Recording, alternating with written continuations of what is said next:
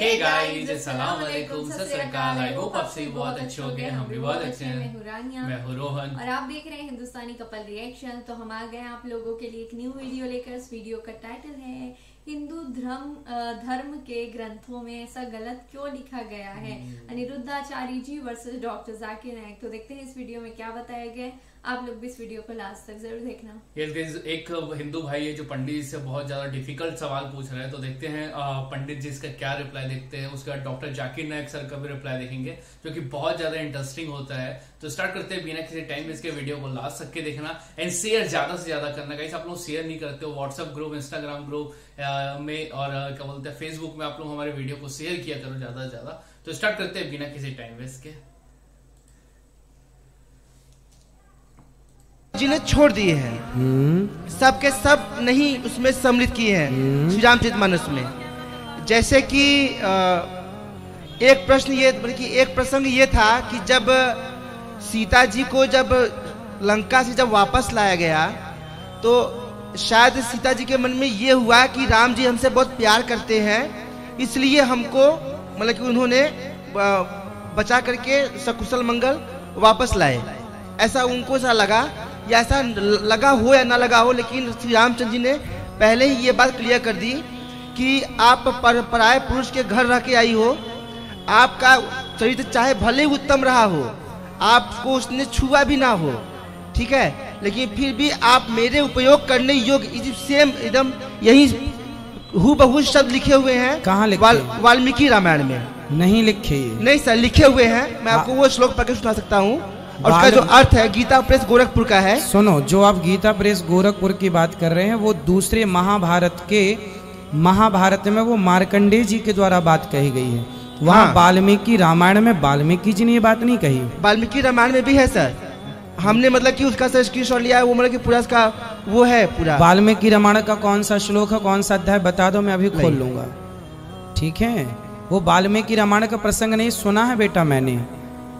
आप लोग सुनते हैं मोबाइल में हम लोग शास्त्रों में देखते ये इसमें लिखा हुआ है मिथिलेश नंदिनी तुम्हारी वो महाभारत का चैप्टर है बेटा वो वाल्मीकि रामायण का नहीं है। है ना? आप गलत कह रहे हैं। वो प्रसंग मैंने सुना है वो मेरे संज्ञान में है। ठीक है आप डायरेक्ट बात कर सकते तो हो। अगर हम अगर उसमें कहा सुनो गया है अब मैं तो आपको तो- बताऊँ अब मैं आपको बताऊँ। यदि राम जी कहेंगे कि तुम मेरे लिए भोग्या नहीं हो तो फिर लव कुश कैसे पैदा हुए? उत्तर दो आप। तो लव कुश तो लव कुश तो जब सीता जी को जब जब सीता जी वो ऋषि जी के साथ रहती थी तब वहाँ पे हुए थे। हाँ तो वहाँ हुए हैं तो संतान तो लव कुश राम जी की ही हैं। हाँ पुत्र तो राम जी के ही हैं। हाँ फिर पुत्र आप तो क्या कह रहे हैं कि भोग्या नहीं हो मैं तुम्हारा स्पर्श नहीं करूँगा आपके हिसाब से? नहीं जो तो ये कंट्रोवर्सी को मतलब कि कैसे जस्टिफाई किया जाए? कि सबसे ज़्यादा पढ़ी जाने वाली किताब हिंदू मज़हब में भगवत गीता। भगवत गीता में लिखा है, अध्याय नंबर एक में, chapter number one, verse number 43 to 46 में, जब अर्जुन कहते हैं श्री कृष्ण से, भगवत गीता एक मशोरा है श्री कृष्ण जो अर्जुन को दे रहे हैं मैदान जंग में। तो भगवत गीता में लिखा है, अध्याय एक में, वर्ष नंबर 43 टू 46 में, अर्जुन मैदान जंग में अपने हथियार को ज़मीन पर रख देते हैं और श्री कृष्ण से कहते हैं, मैं निहत्ता मरना पसंद करूँगा, बनिस्बत मेरे रिश्तेदार से लड़ू। लड़ाई थी पांडव और कौरव के बीच, जो रिश्तेदार थे, जो कज़न से। तो श्री कृष्ण कहते हैं, चंद श्लोका के बाद, चैप्टर नंबर टू अध्याय दो, वर्ष नंबर दो और तीन में श्री कृष्ण कहते अर्जुन से, आपको ऐसे नापाक ख्याल दिमाग में कैसे आए? How come such impure thoughts have come in your mind ये नापाक ख्याल आपके दिमाग में कैसे आए? How come you have become so important आप नपुंसक कैसे बन गए? कौन कह रहा है? श्री कृष्ण कह रहे हैं अर्जुन से, और भगवत गीता चैप्टर नंबर दो अध्याय दो वर्ष नंबर 31 टू 33 में श्री कृष्ण कहते हैं अर्जुन से कि क्षत्रिय का धर्म है लड़ना। भाग्यवान है वो क्षत्रिय जिसको मौका मिलता है लड़ने के लिए। अगर मैं इन श्लोका और मंत्रा का हवाला दे के ये कहूँ कि भगवत गीता में आपके भगवान कह रहे हैं कि अपने रिश्तेदार का कत्ल करो तो ये शैतानी हरकत होंगी। पस मंजर पढ़ेंगे तो पता लगता है श्री कृष्ण कह रहे अर्जुन से कि बातिल के खिलाफ आपको लड़ना चाहिए, चाहे वो आपके रिश्तेदार हो।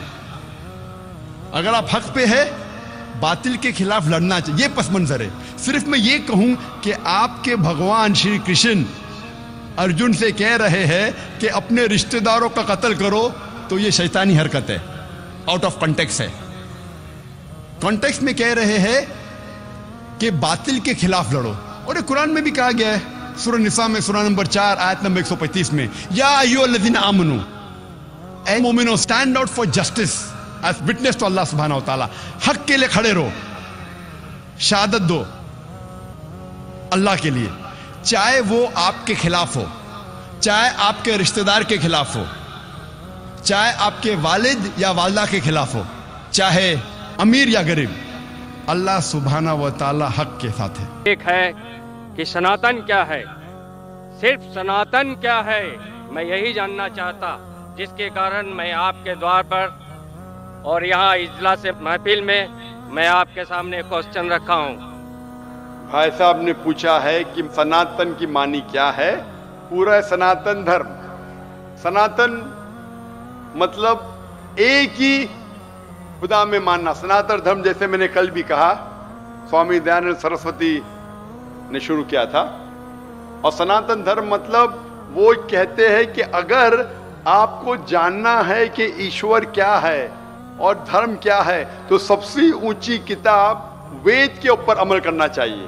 तो इनने वेद की तहकी करने के बाद यह साबित किया कि ईश्वर का डेफिनेशन क्या है। वेद और उपनिषद के ज़रिए और जैसे मैंने कल भी कहा और परसों भी कहा कि जब आप पढ़ते छंदोगे उपनिषद चैप्टर नंबर छ सेक्शन नंबर दो, श्लोक नंबर एक एकम एविदित्यम। खुदा एक ही है, भगवान एक है, दूसरा नहीं है। लिखा है श्वेता श्वेता उपनिषद में चैप्टर नंबर छ श्लोक नंबर नौ, ना चस्य कसिज, जनिता न जदीपा। उस ईश्वर, उस भगवान का कोई रब नहीं, कोई वालदेन नहीं। लिखा है श्वेता श्वेतर उपनिषद में चैप्टर नंबर चार, श्लोक नंबर उन्नीस, न तस्य प्रतिमा अस्ति, उस ईश्वर की कोई प्रतिमा नहीं। प्रतिमा एक संस्कृत लफ्ज है, जिसके मानिए अक्स, picture, photograph, painting, idol, sculpture, statue, उस ईश्वर, उस भगवान की कोई प्रतिमा नहीं, कोई अक्स नहीं, कोई पिक्चर नहीं, कोई पेंटिंग नहीं, कोई फोटोग्राफ नहीं, कोई स्टैच्यू नहीं, कोई आइडल नहीं। यही चीज़ लिखा है यजुर्वेद के अंदर चैप्टर नंबर 32 श्लोका नंबर तीन। न तस्य प्रतिमा अस्ति, उस ईश्वर, उस भगवान की कोई प्रतिमा नहीं, कोई अक्स नहीं, कोई पिक्चर नहीं, कोई पेंटिंग नहीं, कोई स्टैच्यू नहीं, कोई पोर्ट्रेट नहीं। और जो ब्रह्मा सूत्र हिंदुइज्म का, एकम ब्राह्म द्योत्या नास्ते, नैना नास्ते किंचन। भगवान एक ही है, दूसरा नहीं है। नहीं है नहीं है, जरा भी नहीं है। तो अगर आप ये जान ले कि भगवान एक है उसका अक्स नहीं है और सिर्फ़ उसी की इबादत करना चाहिए। ये मेन ऑब्जेक्टिव है सनातन धर्म का। तो आप समझ चुके सनातन धर्म क्या है भाई साहब? फ़िलहाल कुछ बोलना चाहेंगे?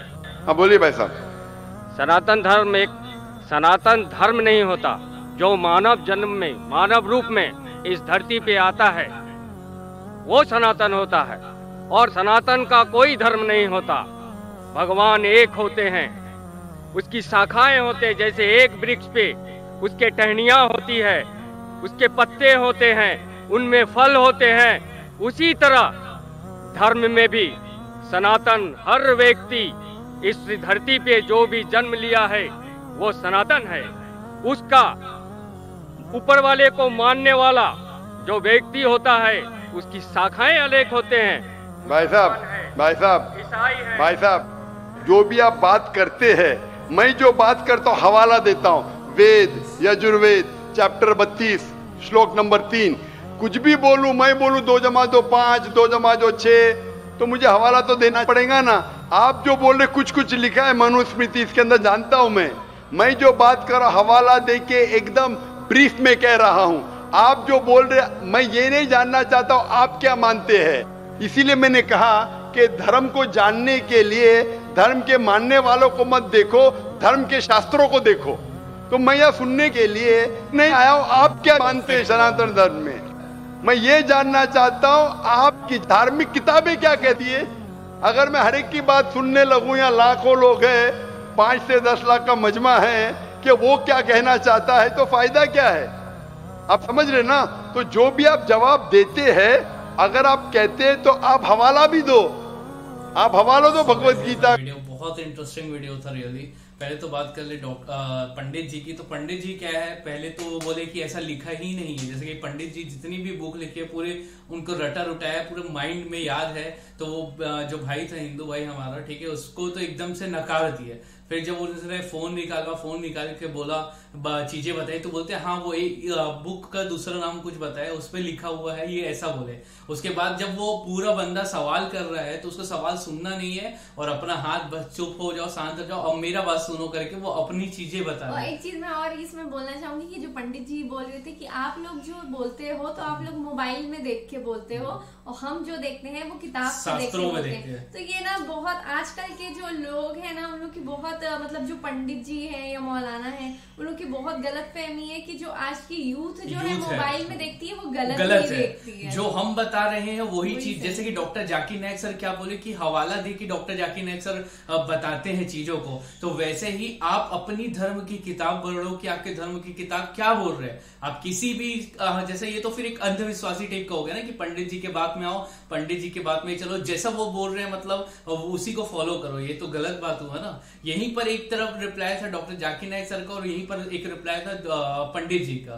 तो पंडित जी पूरी तरीके से शांत करवा दिए सामने वाले बंदे की बात सुने नहीं और- उसका जा- मतलब जो भी सवाल था उसको पूरा क्लियर करना था पूरा डिबेट करना था। और उसके बारे में पूरी चीज़ें बतानी थी जैसे कि डॉक्टर जाकिर नायक सर ने बोला हवाला हाँ हाँ हवाला दिया कि जो हिंदू धर्म की जो बुक है उसका भी हवाला दिया। और बहुत सही बात बोली कि उसमें भी बोला गया है जैसे कि मुस्लिम लोगों को बोला जाता है ना कि आपकी बुक में लिखा हुआ है कि जिहाद करो लड़ो तो ये सारी चीज़ें दूसरे भी धर्म धर्म की बुक किताब में लिखा सेम लिखा है। लेकिन लोग क्या करते हैं कि सिर्फ़ मुसलमानों को बोलते हैं कि तुम्हारी बुक में लिखा है। और इस ये सबसे मेन वजह है कि जो इनके जो धर्म के ये है ना। ठेकेदार पंडित वो लोग बताते ही नहीं कि इनकी बुक में लिखा क्या है। जो वो खुद फॉलो करते हैं वो बोलते हैं कि आप लोग भी फॉलो करो। जैसे कि ये अंकल आए थे क्वेश्चन करने के लिए तो वो अपना जैस अपना मतलब वो खुद अपने दिल की बात हाँ, और अपना भड़ास जो बोलते हैं ना, हाँ, वो। मानते हैं वो चीज़ें बता रहे तो बहुत सही बात बोला डॉक्टर जाकिर नायक सर ने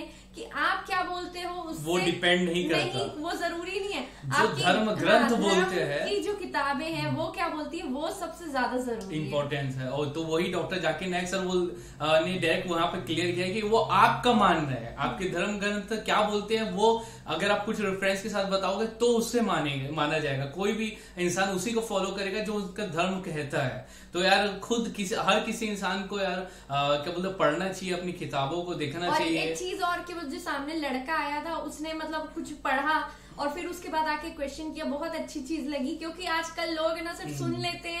और उसी को मानने लग जाते हैं। नहीं है कि उसमें क्या लिखा है क्या नहीं लिखा है अपनी बुक में और बस उसको मानने लगते हैं। लेकिन ऐसे हमेशा चेक करना चाहिए कि सच में क्या लिखा है और क्या नहीं लिखा है। यस गाइस आप लोग क्या सोचते हो उस वीडियो के बारे में? आप लोगों को किसका रिप्लाई बेस्ट लगा? ज़रूर कमेंट बॉक्स में कमेंट करके बताना। और अगर आप इस वीडियो पे न्यू हो गए तो इस वीडियो को लाइक कर देना चैनल को सब्सक्राइब करके बेल नोटिफिकेशन ऑल पे सेट कर देना। मिलते हैं नेक्स्ट वीडियो में तब तक के लिए बाय लव यू गाइस